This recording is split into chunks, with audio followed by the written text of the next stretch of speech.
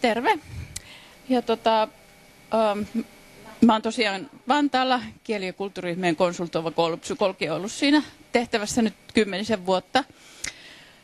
Äh, perusopetuksessa toimin tällä hetkellä kokonaan äh, ähm, semmoisen vajaan kymmenen vuotta olin myös aikuisopistossa, missä Vantaalla annetaan nuorille maahanmuuttajille perusopetusta, niin siellä oppilashuollossa mukana. Ja mun rooli on niin kuin tukea Vantaalla perusopetuksessa ja oppilashuollossa maahanmuuttaja taustaisten oppilaiden niin asioihin liittyvissä tilanteissa opettajia, oppilashuoltoa ja, ja sitten myös semmoisissa niin suunnitteluun liittyvissä asioissa, opetuksen ja oppilashuollon järjestämiseen liittyvissä asioissa.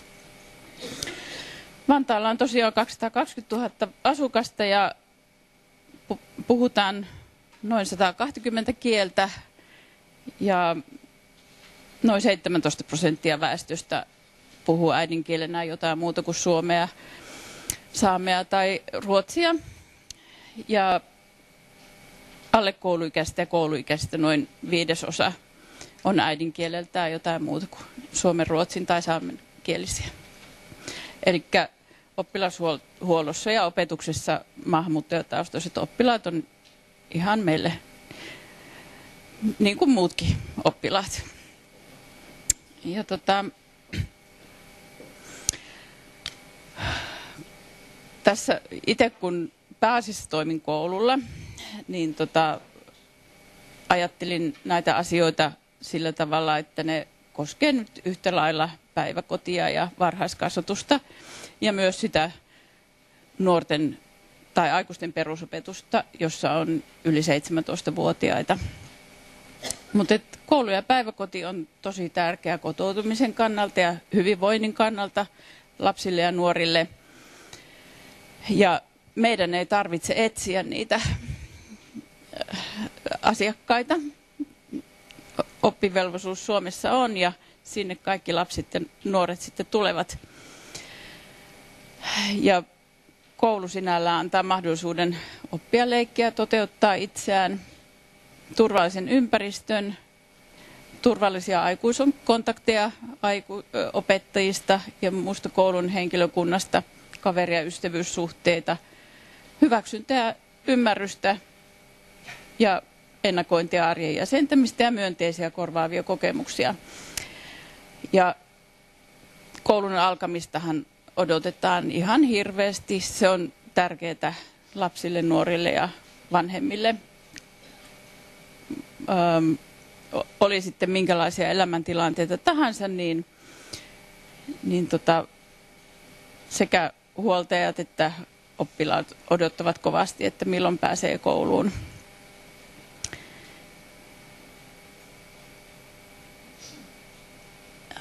Ja tota, tähän tunnistamiseen liittyen, niin mun mielestä on tosi tärkeää, että se semmoinen kodin ja koulun välinen yhteistyö aloitetaan heti alusta alkaen tiiviisti.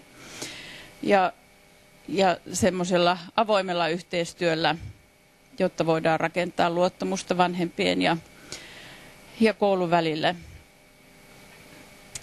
Ja me ollaan tota Vantaalla vuosien varrella aika monessa koulussa ja esimerkiksi valmistavan opetuksen ryhmässä käytetty semmoista Väestöliiton vanhempain vertaistuen mallia, joka on tosi hyvä, joka perehdyttää vanhempia siihen koulun toimintaan ja sitten toisaalta koulu kuulee vanhempien näkökulmia ja tarpeita.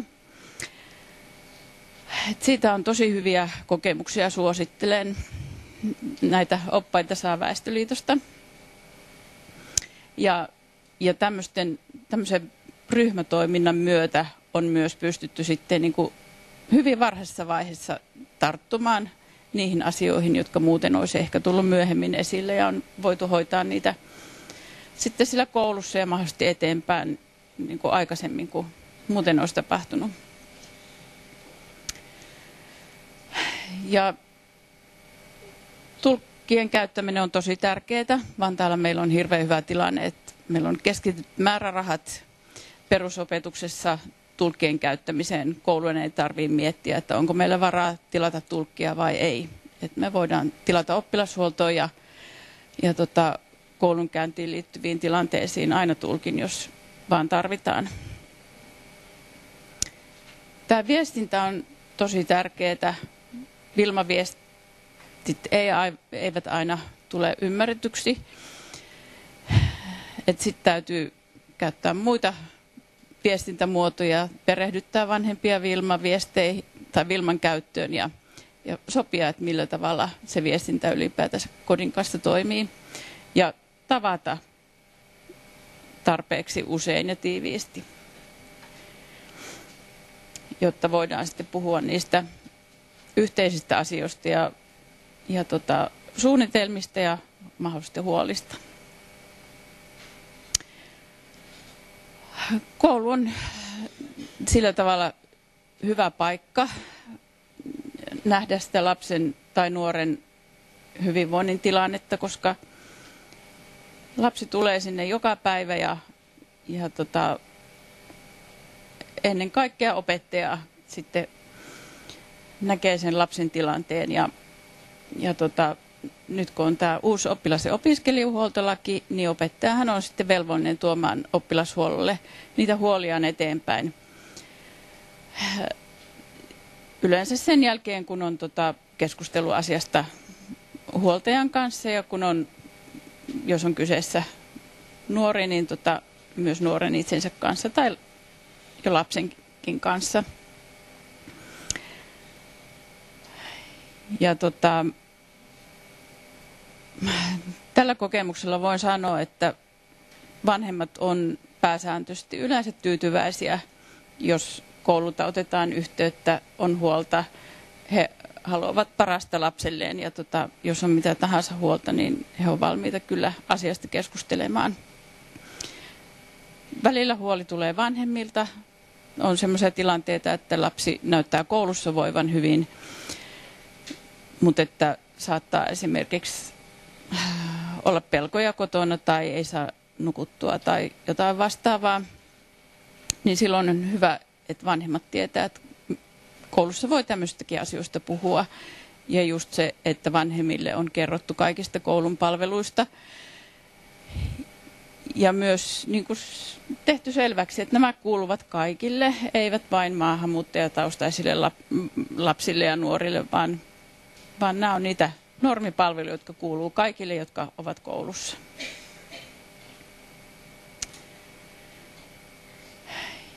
Ja ö, lapsen käyttäytymisessä voi aiheuttaa huolta monenlaiset asiat, mitkä näkyy esimerkiksi siellä koulussa.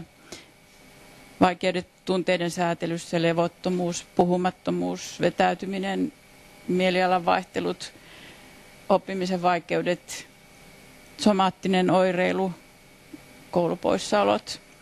Tai lapsi voi itse kertoa sitten niistä asioista.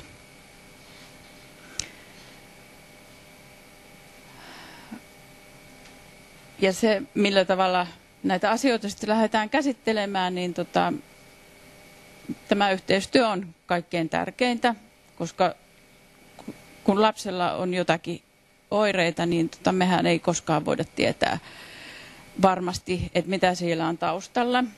Ja yhteistyö kodin kanssa on ainoa se asia, jolla me päästään niin sen ilmiön juurille sitten.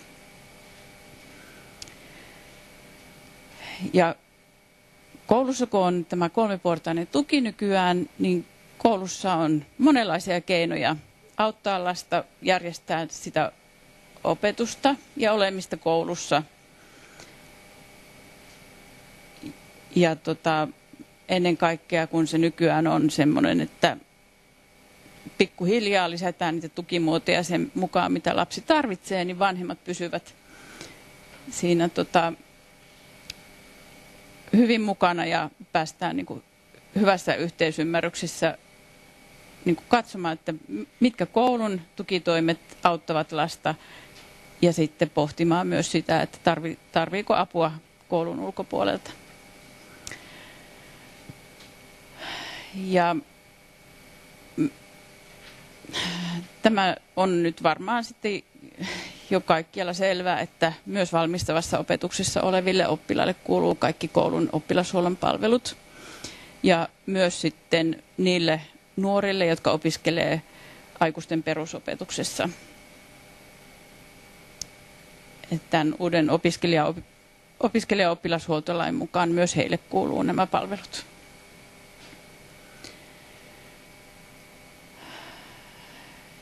Ja meillä esimerkiksi Vantaalla niin tota, nämä ohjauspalvelut sitten koulun ulkopuolisiin tukiin toimii hyvin. Et meillä perheneuvola esimerkiksi äm, palvelee hyvin maahanmuuttajataustaisia oppilaita ja lapsia ja nuoria. Ja tota, sitten on semmoinen nuppi, joka on matalan kynnyksen mielenterveyspalvelu nuorille. Ja sitten myös erikoissairaanhoitoon on saatu tarvittaessa näitä maahanmuuttajataustaisia lapsia esimerkiksi traumaoireilun vuoksi ja tota, monissa muissa asioissa, että ei ole niinku semmoista rajaa nyt pitkään aikaan ollut, etteikö olisi palvelut toiminut. Lastensuojelu on yksi näistä palveluista, joita usein tarvitaan.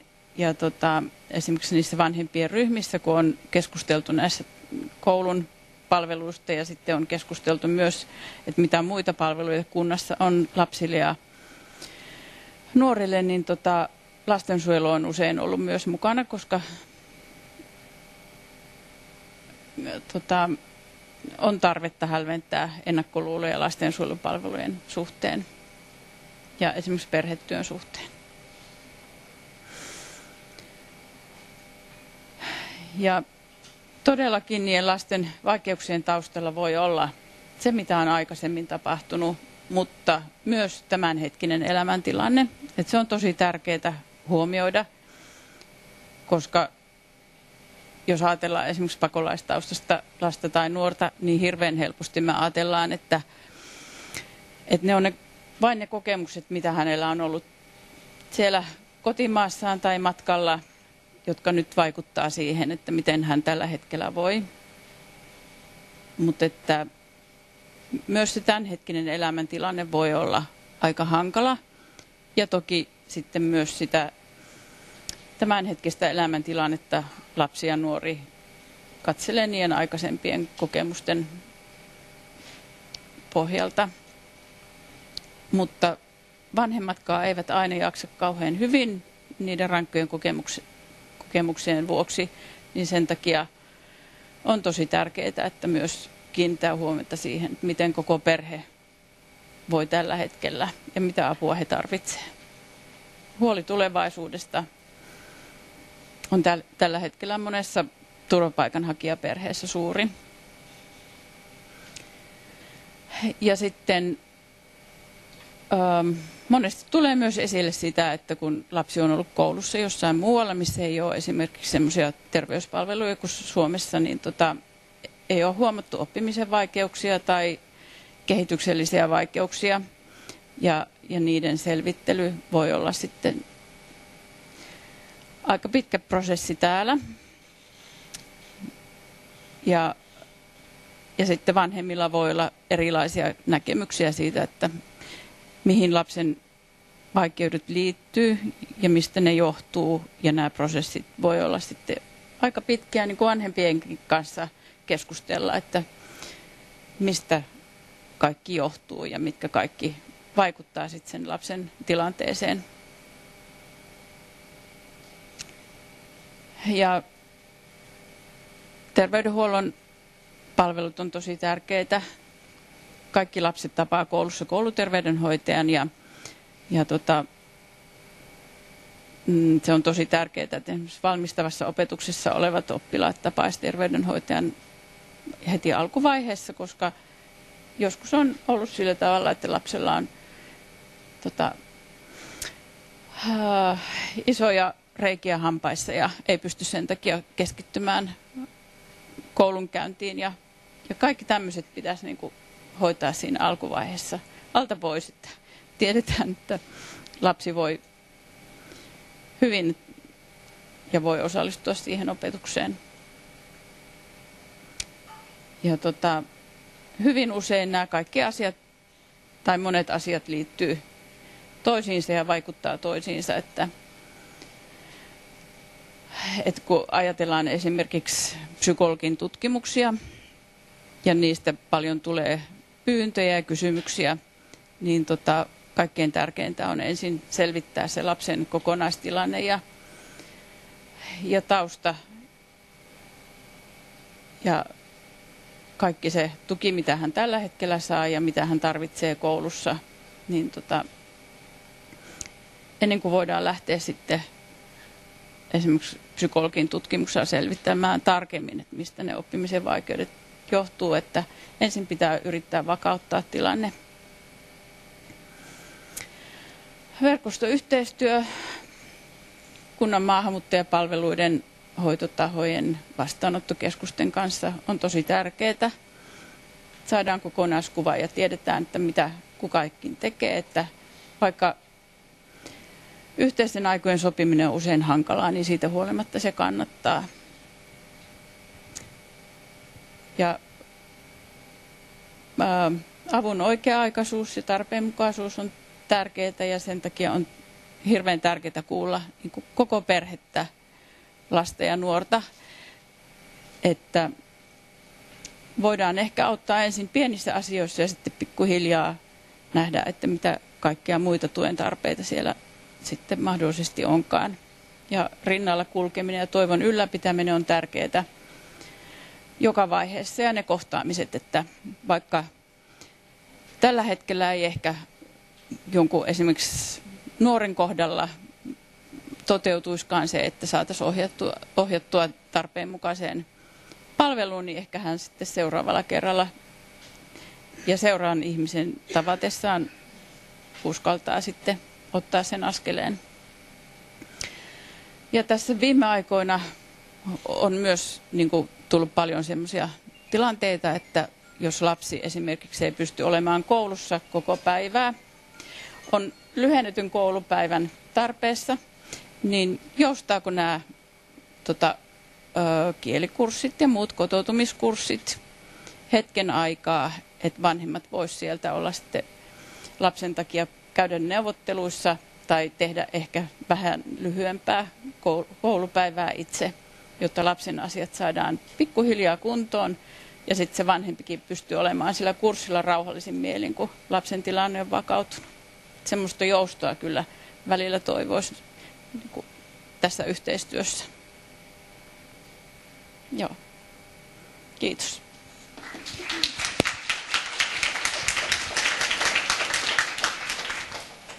Kiitos oikein paljon Elise.